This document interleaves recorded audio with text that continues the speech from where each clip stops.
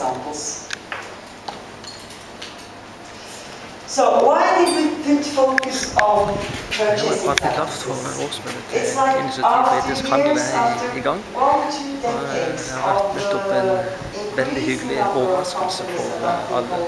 Mine kollegaer og stormeidere. vi har nemlig blitt eh, tildelt årets uh, ildsjelpris i Initiativ for etisk handel.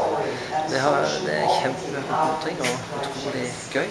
Det viser at eh, det arbeidet vi har lagt ned siden vi starta, har eh, gitt resultater. Det er en anerkjennelse og en how kjempeundring både for meg og kollegaene mine å få, den prisen.